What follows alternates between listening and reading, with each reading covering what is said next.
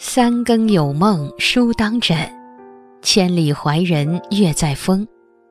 大家好，这里是深夜读书，每晚陪伴你。人生道路充满着变数，是一道未解的难题。管子曾在《水地》中说道：“水何者也？万物之本源也，诸生之宗室也。水是生命之源。”万物之宗，他对人类思想的启示也是无穷无尽的。人活到极致，便是懂得了自己，看透了人生的密码。今天，竹子将和大家分享的是，一个人真正的强大来自于孤独。在开始今天的节目之前，希望大家能点击订阅和小铃铛，你的点赞和评论。是我最大的动力，感谢大家的喜欢，深夜读书因你们而精彩。目前，我国有九千两百万空巢青年，空巢老年数量也将近一亿，孤独、空虚也成为这些人的心灵境遇。对于独居青年来说，尽管更为自由，可是一个人吃饭。一个人生活，一个人生病无人照顾，内心免不了空虚。而对于老年人来说，子女曾经是他们生活的全部重心，如今子女都已成家，没有儿女的陪伴，生活平添几分寂寥。那如何面对空巢带来的孤独感呢？美国颇有声誉的日记体作家。小说家、诗人梅萨腾在《海边小屋》中告诉我们关于孤独、老年、生活和生命的答案。梅萨腾是一个终身独居的享有者，别人都想办法躲避孤独，可正值写作巅峰期的他，主动选择离开喧嚣的城市生活，来到海边，开启独居生活。梅萨腾把时间用于读书、写作、思考上，不亦乐乎。今天，让我们跟随梅萨腾移居海边的理想居所，体味人生的美好时光，探寻关于生活、孤独、老年、死亡的思考。一个人的生活也可以温馨和治愈。书中写道：“实际上。”远离自己的内心生活，才使我觉得像得了病一样。以前身处城市快节奏的生活，常常让他因为急于想要完成某项工作而烦躁不堪，导致内心痛苦。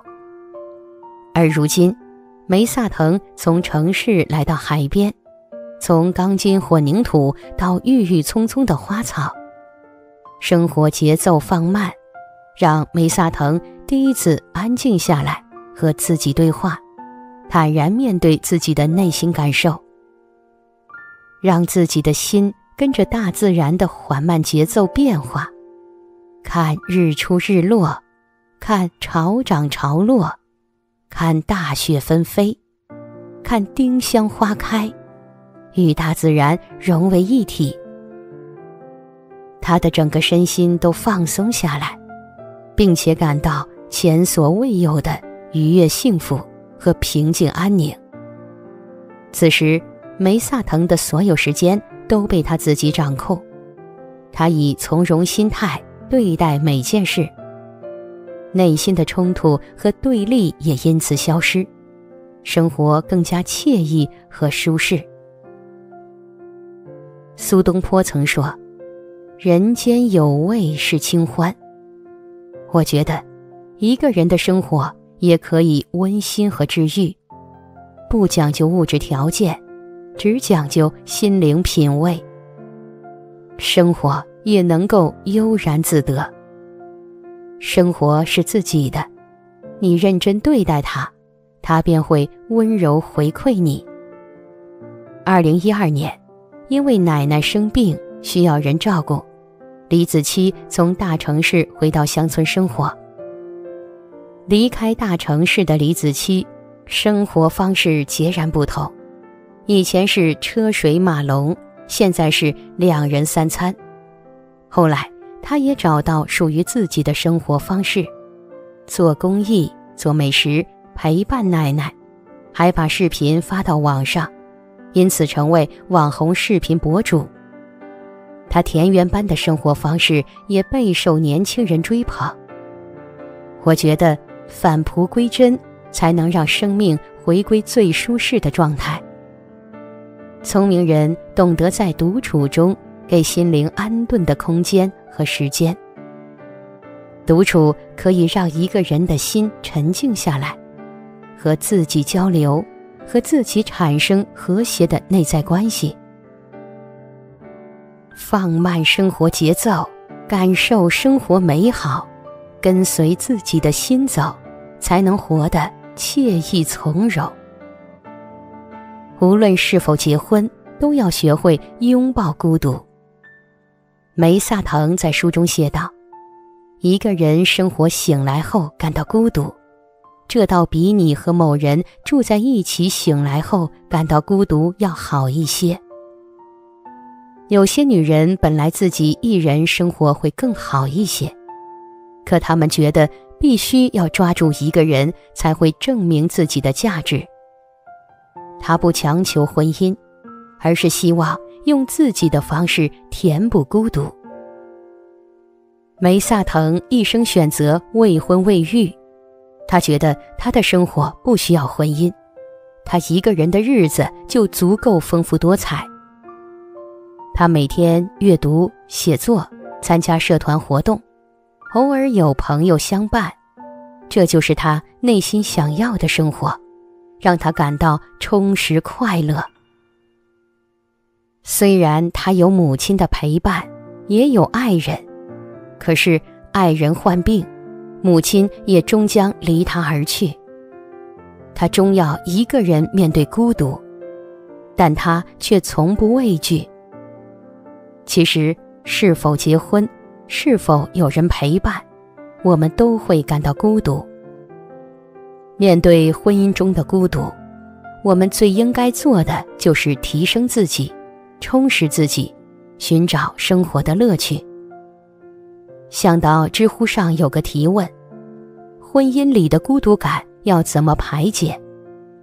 有个高赞回答说：当你把孤独感指向对方，无论与谁结伴。你都会孤独终老。内心强大，有爱自己和爱他人的能力，就不会孤独。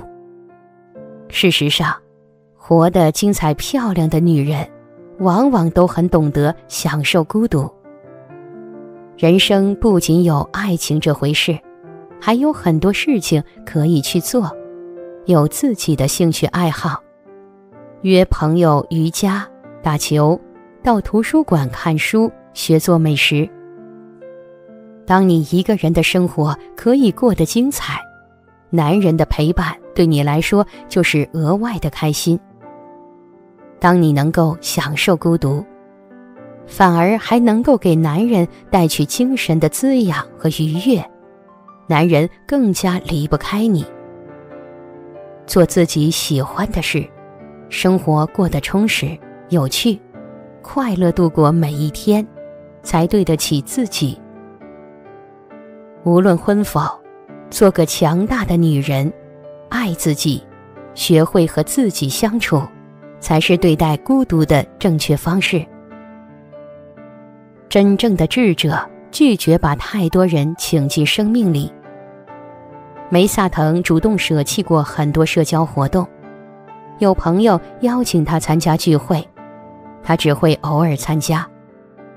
有人邀请他出席演讲活动，他也只会选择性的参与很少一部分。甚至有他的读者慕名而来，他的内心也会非常抵触，礼貌寒暄后就会把读者打发走。在梅萨腾看来，这些无关紧要的事都会占据他真正的生活空间。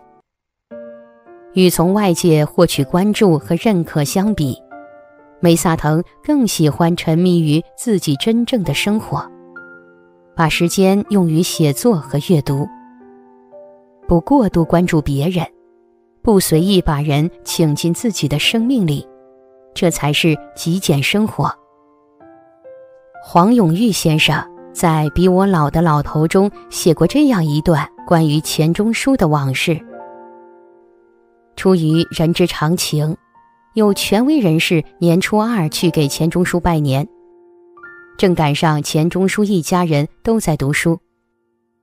钱钟书放下手里的书籍，走去开门。来人给钱钟书问好后，正要进门，钱钟书只露出一些门缝说。谢谢谢谢，我很忙，我很忙，谢谢谢谢。那人当然不高兴，说钱钟书不近人情。事实上，钱钟书其实没有很忙，只是在他看来，读书远比去应酬更重要。美国埃默里大学教授马可说过，一个人成熟的标志之一，就是明白。每天发生在我们身边百分之九十九的事情，对于我们和别人而言都是毫无意义的。一个成熟的人，无需从外界获取认可和关注，精神世界自给自足，专注自己的生活，才能活得充实快乐。一个人的精力是有限的，放弃无效社交。把自己宝贵的时间和精力留给自己，才能掌控自己的生活。坦然接纳孤独和老去，意味着走向成熟。随着年纪增长，每个人都会担心自己的身体，担心生病无人照顾。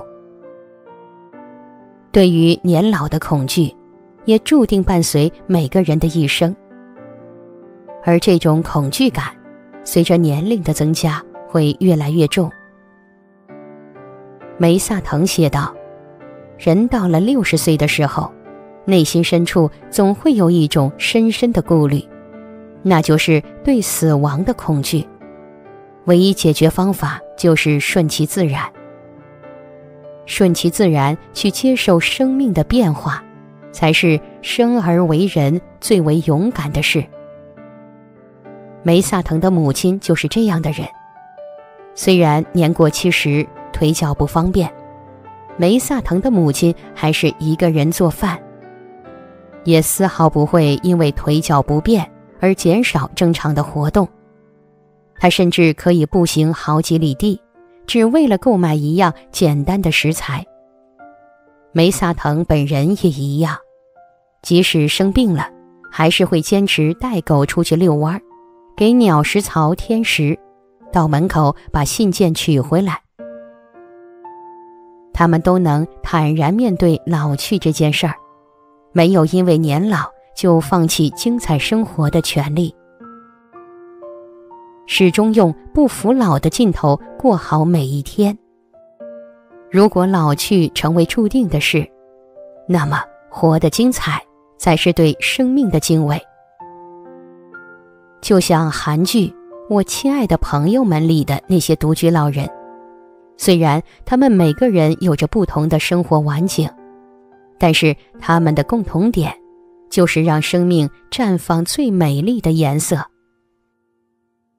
有的人一生没有成家，也没有孩子，晚年还是忙着投资赚钱，感受生命的价值。有的人虽然有孩子在身边，但为了不给孩子添麻烦，报喜不报忧，和好友旅行，专注于过好自己的生活。有的人被冷漠的丈夫束缚一辈子，晚年终于想要反抗，和朋友一起去照相，随心所欲的和自己喜欢的黑皮，上演我行我素的畅快生活。书中写道：“步入老年并不可怕，老年时光可以是辉煌壮丽的。生活不可怕，老去不可怕，疾病不可怕，黄昏的人生一样可以很美丽。人生是一场向死而生的旅程，每个人都要学会坦然地面对老去和死亡。接纳死亡意味着走向成熟。如何对待老去和死亡，也决定了一个人的生命高度。书中写道：“从很大程度上来讲，生活的实质就是面对它的欢乐与忧愁。”没有忧愁，生活也就没有什么滋味。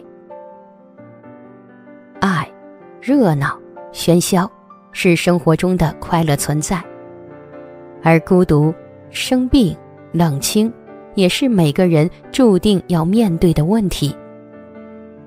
坦然接纳生命的每个过程，生活的每种遭遇，只能勇敢面对，坦然接受。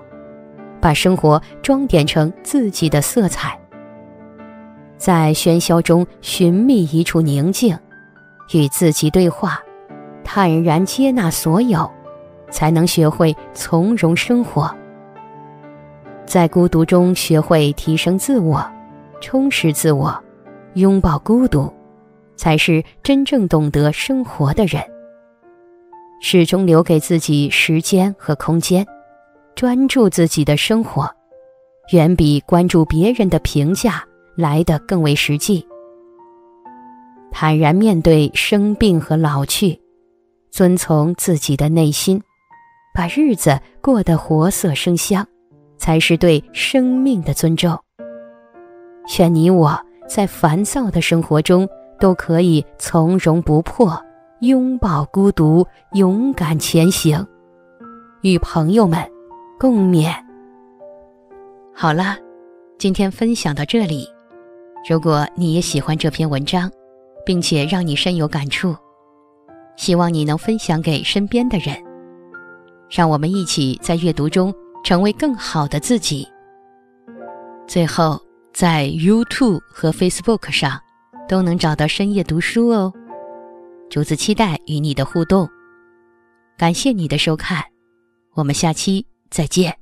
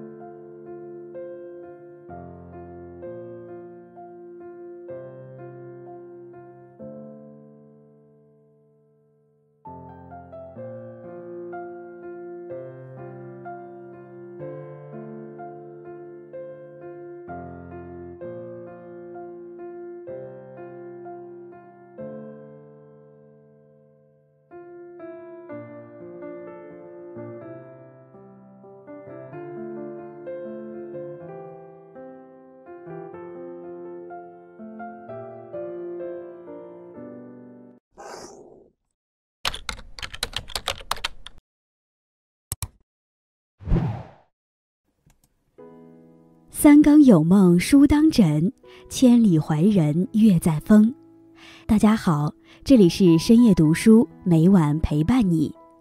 为了可以更好的与大家互动，现在深夜读书已经在 Facebook 开设了粉丝专业，大家可以按照图片指示去添加一下。如果有什么生活上的困苦和不觉的地方，欢迎给我们留言，让我们一起在阅读中。变得更好。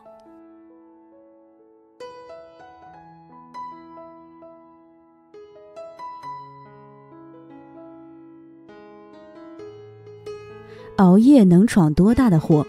我见过比较严重的一次，是丢了全部年终奖。那是我的一个前同事，把给 A 客户的合同寄给了 B 客户。A 客户的合作价格比较低，B 客户的经理一看就气晕了，直接说要取消合作。老板非常生气，把同事的年终奖取消了。我觉得很奇怪，因为这个同事以前很靠谱。一问之下才知道，原来他在寄合同之前，已经因为工作熬了好几天夜了，神志不清，头脑昏胀，做事情自然容易出错。我把这个情况告诉老板，很希望为同事把年终奖争取回来。但老板说的话我印象特别深刻，无论什么原因，犯错了就是犯错了。职场很多时候就是这样，只有成绩单，没有功劳簿。把熬夜酿成的错误又用熬夜去赎回，那就是不折不扣的死循环。你以为用紧绷着的神经熬着通宵去工作就叫做拼命？其实那仅仅是拼了你的好身体。大概是一年多前吧，有一天我一觉醒来，发现自己听不见了。估计没有人能体会那一刻我恐惧的心情。我在想，我还没听过最想去的钢琴演奏会。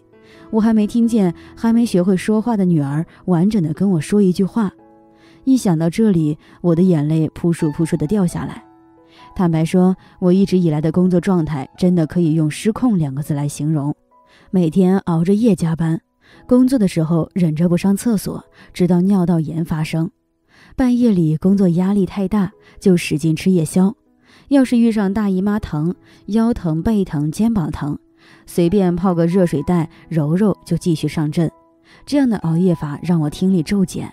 那是我第一次感到熬夜真的会在不知不觉中伤害一个人的身体。我们做很多事情都喜欢计算投资回报率，但在把时间投给熬夜这件事上，却是犯下了愚蠢的错误。我有一个非常要好的朋友，他勤奋又聪明，三十岁就做到了某公司的高级副总裁。结果一年半前突然得了急性肾衰竭，我回想了一下跟他相处的点滴日常，其实征兆早就出现了。我们虽然生活在同一座城市，但我不是在飞机上遇见他，就是在机场遇见他。我虽然胡吃海喝，但他还经常烟酒相伴。我凌晨三点发个朋友圈，他总是第一个点赞。他的投资项目都很成功。但他每次都说投资回报比不上隔壁团队的某某，所以他只能加班加点的做更多的事。朋友虽然尽力治疗，但死亡还是来的那么凶猛。从确诊到洗肾、换肾手术、排斥、感染、衰竭，只有四个月。最后我去医院看他，瘦成纸片一样的他，他曾经的光芒四射，只衬托出了生命的格外脆弱。我记得有一句话说。工作就像一个皮球，掉下去还会弹回来；健康就像一个空心玻璃球，一掉下去就会粉碎。当初我把这句话当鸡汤一样读着，直到某一天，我在自己身上，在朋友身上，突然发现玻璃球真的碎了，一地残破的光芒刺痛着我的心。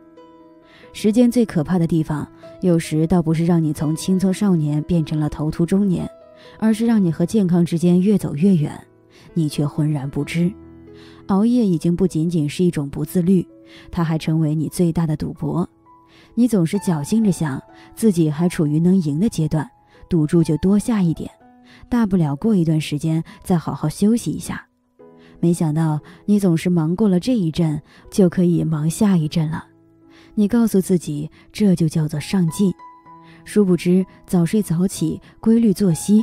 用自律和清爽来武装自己，才是成功者持续战斗的标配。有一句话我非常喜欢，与你共勉：用熬夜去拼命，那只不过是拼命逞强。你的睡眠时间才是你真正自律的证据。好了，今天分享到这里。如果你也喜欢这篇文章，请点击订阅与分享。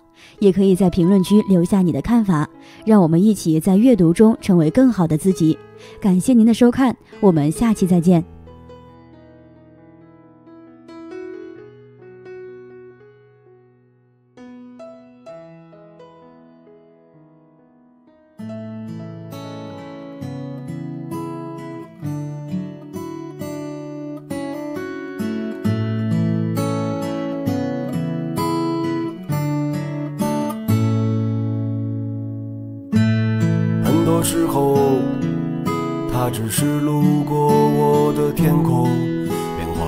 多场景，哭了笑了，不用再说。风牵着他的手，带他走，遇见生活，他看到那个路口，转身了就再也没回头。叶落的时候，想起有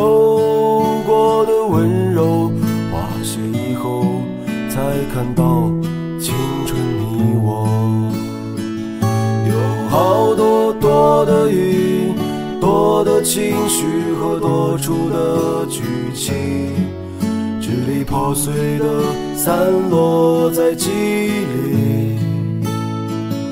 有好多多的我，多的风景，你不在这山水里。雾开云散，看得更清是你的美。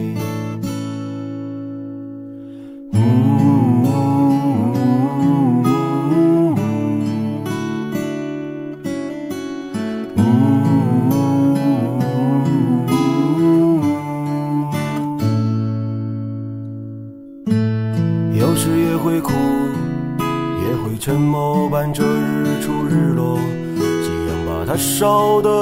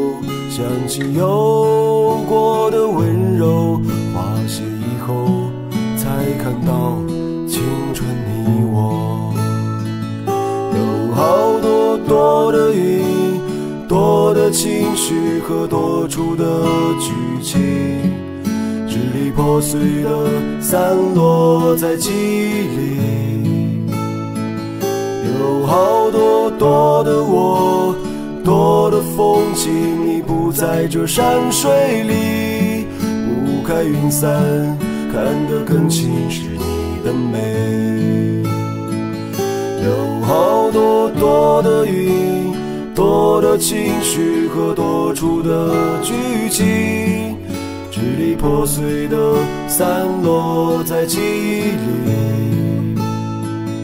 有好多多的我，多的风景，你不在这山水里。雾开云散，看得更清是你的美。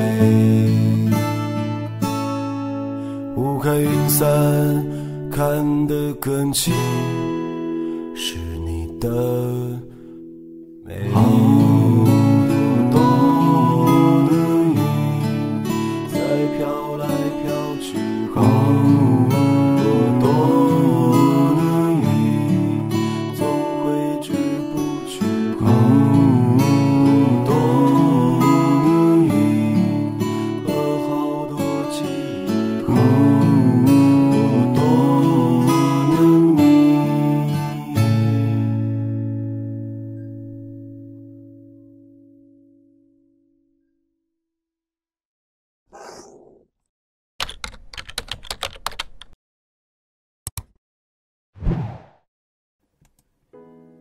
三更有梦书当枕，千里怀人月在风。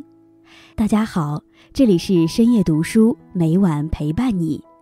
为了可以更好的与大家互动，现在深夜读书已经在 Facebook 开设了粉丝专业，大家可以按照图片指示去添加一下。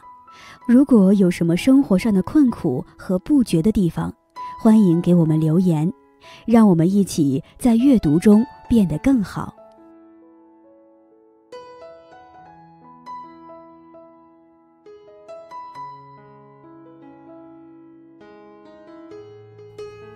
年少时听歌听的是心情，长大后听歌听的是故事。每一句歌词说的好像都是自己，钻进耳朵里，仿佛能听到心碎的声音。一首歌能火，往往是因为它唱出了我们内心无法诉说的情绪，那些遥远的梦，那些独自走过的黑夜，那些消散着人海的身影。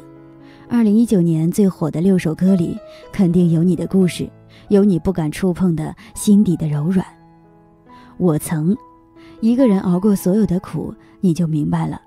你的孤独虽败犹荣里有段话说：“你的脸上云淡风轻，谁也不知道你的牙咬得有多紧；你走路带着风，谁也不知道你膝盖上仍有层摔伤的淤青；你笑得没心没肺，没人知道你哭起来只能无声落泪。其实这一路走来，没有谁过得是容易的。那个为了三百块钱拼命追赶公交车的女子，摔倒后又爬起来；那个在地铁里醉酒跌倒的男子崩溃大哭。对着匆匆赶来的乘务人员，他却摆摆手说：“我妻子会来接我的。”那个患病后被公司辞退的员工，躺在病床上还要维权。我们活得小心谨慎，我们活得委曲求全，我们活得不像自己。但即使再苦，我们依然要为了我们爱的人以及爱我们的人坚持。一个外卖员曾说：“有时候觉得真苦。”但是想想老家的女儿，因为自己的付出有学上，就觉得很满足。走下去，就像海明威说的，那些受伤的地方，一定会变成我们最坚强的地方。年少有为，最怕在无能为力的年纪遇到喜欢的人。谁不曾爱过？谁不曾因为爱而自卑？之前参加婚宴碰到老同学，新郎新娘过来敬酒。他看着新娘巧笑倩兮的脸，郑重地跟新郎说：“一定要好好对她。”恰如那句“原谅捧花的我盛装出席，却只为献礼，目送洁白裙纱路过我，对他说我愿意。”他也曾深爱过这个姑娘，但一无所有的境遇哪里配得上说爱？他想等功成名就之时，给她一场盛大的告白，但韶华易逝，红颜易老。错过了最佳告白的时机，那句“我爱你”就再也说不出口。也许我们都经历过这样一段艰难的时光，除了梦想，什么都没有，不敢说爱，不敢轻易许下诺言，总想等到飞黄腾达的那一天再好好说爱你，总想等到有几分底气之时还你一场盛大的婚礼，总想等到日子过得宽裕些再好好陪你，但世事瞬息万变。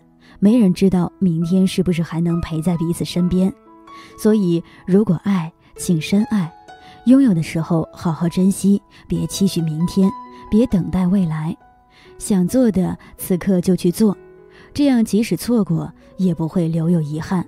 千万别等到有天听到这句“那些美梦没给你，我一生有愧”时，惊然泪下。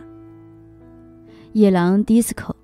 真诚的土味里是回不去的过去，整整一天单曲循环这首歌，心想怎么就那么带劲呢？后来才明白，我怀念的不过是年少那段肆无忌惮、心里无事、整天就知道耍帅装酷的日子。长大是一个变怂的过程，小时候想着长大了我要怎样怎样，真正长大才发现，成人的世界一点也不随心所欲。孩子的教育，父母的养老，车贷、房贷、工作，压力就像空气，密不透风地包裹着我们。听到这首歌的时候，过去就像开了闸的洪水，一股脑向我们涌来，才意识到自己活的是有多苟且。但没有关系啊，或许我们不再有少年人的勇气，但是我们有生活的智慧。遇到事，我们不会再大呼小叫，而是坦然沉着地去想该如何解决。我们担得起家庭，父母能安心养老，孩子能接受好的教育，我们对得起自己。偶尔忙里偷闲，跟朋友小聚出游，还能有什么比这更称得上岁月静好？怂不过是我们明白，对自己而言，什么才是最重要的。芒种，人生的道路上，你种什么因，便得什么果。何为芒种？芒种，芒种。有芒的麦子可收，有芒的稻子可种。人们一边收获幸福，一边种下希望。人生路上，你种下什么因，便得什么果。这个道理适用于爱情，也适用于生活。兴许是时代走得太快，我们往往过得有些焦虑，总觉得成功太远，而波折太多。但好事多磨，用心做好当下的每一件事，未来自是不会太差。之前采访杨澜老师时，他曾说，年轻的时候往往会相信一夜爆红、一蹴而就的故事，慢慢就明白，没有什么突飞猛进的成功。就像今年刷屏的李佳琦，一年三百六十五天，他做了三百八十九场直播，一场直播能试三百八十支口红，每次直播后嘴唇都火辣辣的疼，下播后还要跟团队开会研究什么东西卖的最多，为什么卖的多，就是这样日积月累，才有了后来的质变。时间之书里说，年轻人，你的职责是平整土地，而非焦虑时光。你做三四月的事，在八九月自有答案。这一生关于你的风景。没有谁能一直陪着谁，最重要的是曾经陪伴的回忆。我相信你在动情时所说的话都是真的，许下的承诺也是真的，一腔热血也是真的。至于后来谁辜负谁，那是时间的错过。这一生我们会遇见很多人，然后彼此相伴走一段路。曾经以为会这样一辈子走下去，哪知一路走一路丢。如今陪在身边的都是新面孔，或许有遗憾，或许觉得人情淡薄，但终究会明白，每个人都是一段孤独的人生。我们是开往不同目的的火车，沿途有交叉，那就一起走。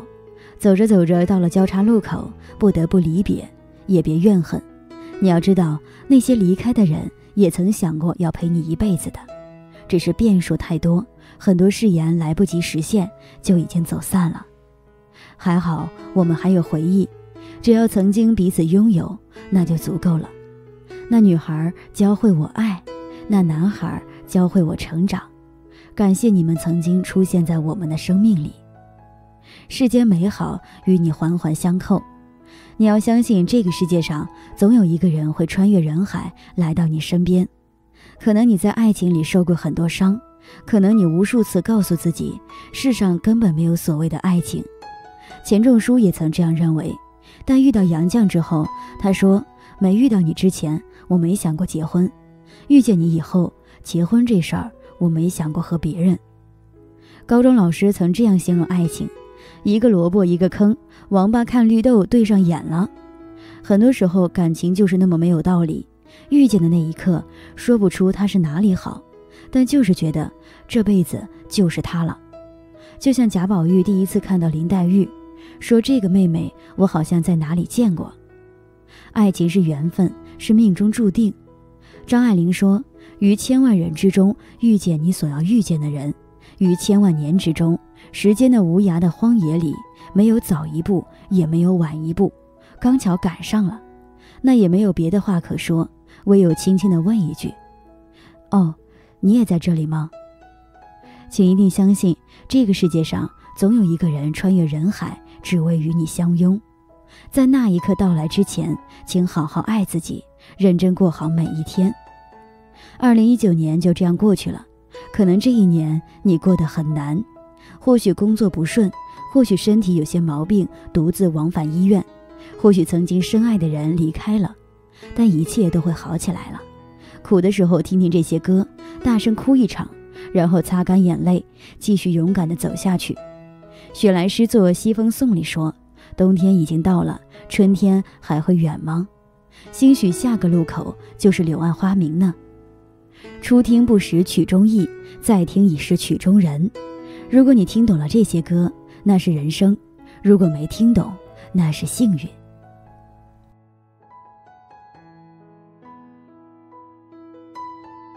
好了，今天分享到这里。如果你也喜欢这篇文章，请点击订阅与分享，也可以在评论区留下你的看法，让我们一起在阅读中成为更好的自己。